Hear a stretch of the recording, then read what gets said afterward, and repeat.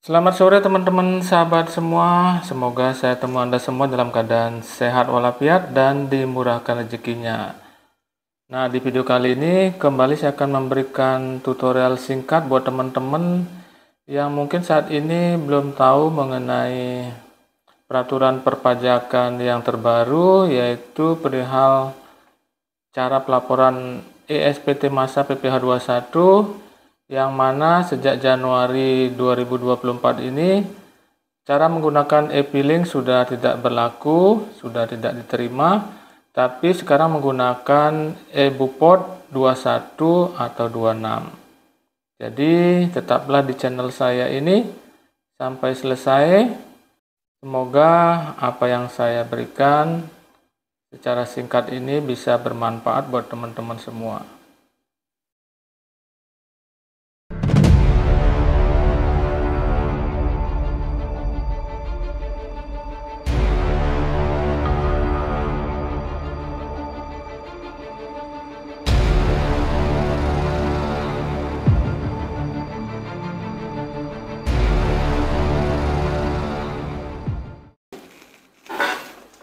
Terima kasih masih tetap di channel saya. Saya akan langsung saja menuju tutorial untuk mempersingkat waktu.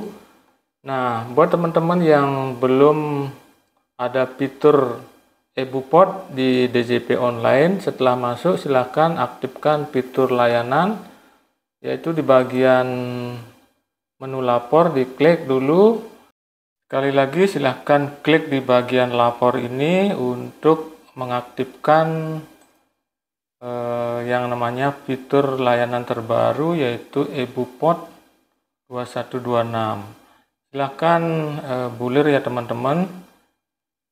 Di sini biasanya sebelumnya kita menggunakan e-filing, tetapi untuk mengaktifkan eh, fitur layanan terbaru yaitu aplikasi EBUPOT 2126 silakan aktifasi fitur layanan. Nah, di sini teman-teman kalau di sini belum dicentang berarti layanan fitur EBUPOT 2126 ini belum aktif ya teman-teman. Jadi buat teman-teman yang belum ada fitur seperti ini silahkan centang tiga bagian ini lalu klik tombol di bawahnya ubah fitur layanan. Oke, selanjutnya jika sudah ada fitur layanan maka kita akan masuk di pra pelaporan. Sini kita klik sebelum melakukan pelaporan. Silakan klik pra pelaporan. Nah, di sini dia akan muncul bagian-bagian yang kita aktifkan tadi yaitu EBUPOT 2126, kemudian EBUPOT unifikasi dan 2326. Nah, ini teman-teman, hal pertama yang harus kita lakukan yaitu melakukan eh, pra pelaporan tentunya. Sebelum melakukan pelaporan kita harus menyiapkan laporan kita, laporan PPH 21 tentunya. Selanjutnya silahkan klik menu e-bupot 2126.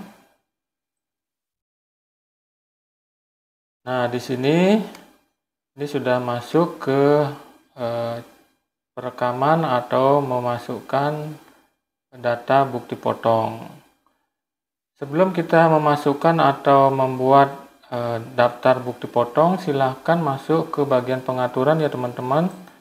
Di bagian pengaturan nanti kita akan e, mengisi e, bagian penandatanganan, yaitu e, penanggung jawab atau pemotong pajak di tempat kerja. Oke, kita klik bagian penandatangan yaitu manajer ataupun financial controller boleh. Nah, di sini masih kosong di bawah ini. Jadi tinggal klik tambah.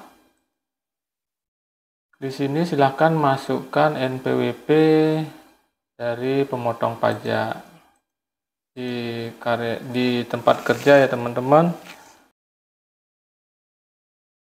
Oke, selanjutnya silahkan jika sudah muncul di sini NPWP dan nama lengkap penanda tangannya, silakan klik aktif lalu simpan. Silakan masukkan kode keamanan yang diberikan. dan kirim.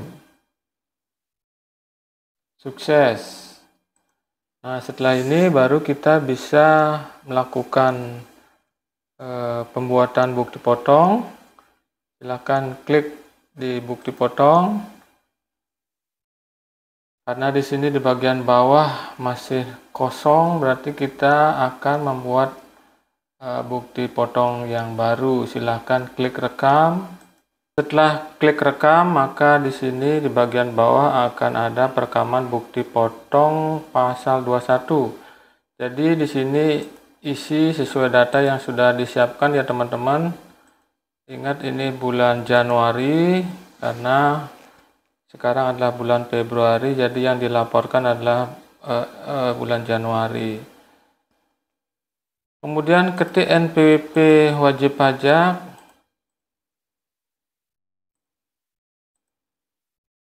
saya copy paste saja lalu ketik enter uh, tekan enter untuk memproses secara otomatis di mengenai nama dan alamat ini akan otomatis muncul. Lalu silakan masukkan kode objek pajak. Nah di sini silakan isi penghasilan brutonya sesuai dengan perhitungan yang sudah kita buat. Di copy paste saja boleh. Lalu di sini silahkan pilih uh, eh, PTKP-nya ya teman-teman sesuai dengan kategori-kategori yang uh, ditentukan sesuai dengan peraturan tahun 5, nomor 58 tahun 2023 Oke selanjutnya silahkan langsung saja boleh klik hitung untuk secara otomatis dia akan menentukan e, kelompok atau tarif pajaknya sesuai dengan kategori ABC. Nah, di sini sudah terlihat ya teman-teman, silahkan dicocokkan dengan kalkulasi yang dibuat secara manual teman-teman. Nah, di sini sudah benar ya teman. Ini sudah benar di ya, PPH yang dipotong yaitu sama dengan yang ada di uh, aplikasi. Selanjutnya uh, kalau sudah benar silahkan uh, klik di bagian bawah lalu klik simpan.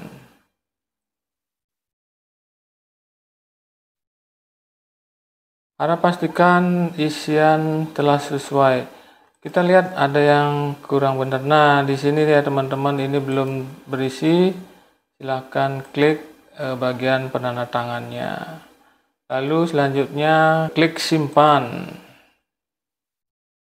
Oke, sukses. Anda ingin merekam bukti potong 21 lagi? Ya. Sebenarnya sama dengan yang sebelumnya teman-teman cuman ini kita langsung secara online mengisinya oke kita akan coba lihat daftar bukti potong yang sudah kita rekam ini di bulan Januari cari nah di sini sudah muncul ya teman-teman di bagian bawah. Di sini ada satu yang sudah masuk datanya cuman di sini belum diposting belum posting.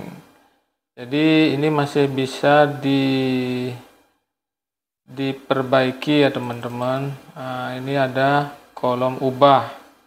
Jadi sebelum teman-teman mempostingnya proses posting dilakukan jika sudah benar-benar benar ya teman-teman Oke, selanjutnya saya akan merekam uh, bukti potong lagi. Kembali tahun pajak, kemudian bulan, lalu NPWP-nya untuk karyawan yang kedua. Silahkan tempel saja lalu enter biar secara otomatis uh, data wajib pajak keluar kode objek pajak, kemudian penghasilan brutonya sesuai dengan yang sudah kita siapkan. Lalu PTKP-nya juga diisi dengan benar. PTKP setahun ya teman-teman. Selanjutnya yang bagian DPP ini tidak perlu. Kita tinggal klik hitung, maka secara otomatis akan aplikasi menghitungnya. Nah ini kena Eh, sesuai dengan kategori ini adalah kena di kategori B yaitu 2,5% dengan eh, DPP atau penghasilan bruto sekian 11,3 Silakan dicocokkan dengan eh, perhitungan kita di Excel karena ini sudah benar silakan boleh di penanda tangan diisi lalu klik centang di bagian bawah ini ya teman-teman tanda persetujuan jika sudah benar, lalu klik simpan. Kalau mau rekam lagi, silakan klik ya. Kalau tidak, silakan klik bagian tombol tidak. Selanjutnya kita langsung posting saja. Ini boleh ya teman-teman. Kita klik posting. Jika data bukti potong kita sudah yakin benar semuanya. Silakan pilih tahun pajak 2024, kemudian bulan Januari, lalu klik posting. Nah, ini sudah diposting ya teman-teman.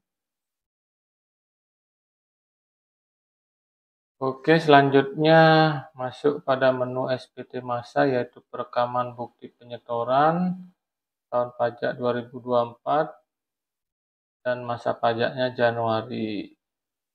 Di sini belum ada terlihat rekaman bukti potong atau bukti setor.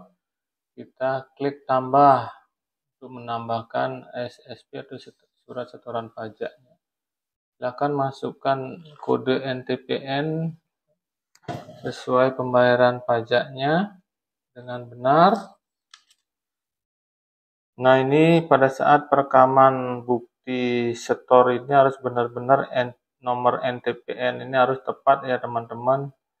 Jika tidak maka data di bawahnya ini tidak akan muncul baik itu kode jenis pajak maupun jumlah setorannya. Jadi pastikan ini benar-benar uh, sesuai dengan SSP atau uh, bukti setor kita di bank Selanjutnya silahkan uh, klik tombol simpan. Oke, sukses. Nah, jika semua pengisian SPT ini sudah benar, silakan uh, bulir ke bagian bawah. Isi penanda tangan ini jangan sampai kosong, lalu klik simpan. Oke, baru selanjutnya silakan klik penyiapan SPT masa PPH 21, kemudian lihat di bagian bawah. Jika sudah ada keterangan seperti ini, SPT Anda siap kirim, silakan klik tombol kirim. Selanjutnya, silakan klik kirim SPT. Nah, bisa kita ambil kode verifikasinya. Silahkan klik di sini. Maka kode verifikasi akan dikirim ke email kita ya teman-teman. Nah, setelah kode verifikasi dikirim untuk memastikan apakah laporan SPT kita sudah diterima atau tidak, silakan masuk ke menu lapor, lalu pilih pra laporan, Lalu silahkan klik di bagian e-book port 2126. Nah, di sini di bagian dashboard sudah terlihat ini laporan SPT kita, SPT masa PPH 21 sudah diterima, tanggal kirimnya adalah tanggal 13 bulan 2 2024. Untuk melihat buktinya bisa kita klik di bagian kanan yaitu lihat BPE. Nah, ini dia teman-teman bukti penerimaan elektronik atau BPE yang eh, sudah berhasil. Sekian dulu tutorial dari saya, semoga bermanfaat dan jika ada pertanyaan silahkan tulis di kolom komentar. Terima kasih. Terima kasih sudah nonton. Jangan lupa like, subscribe, dan share ya.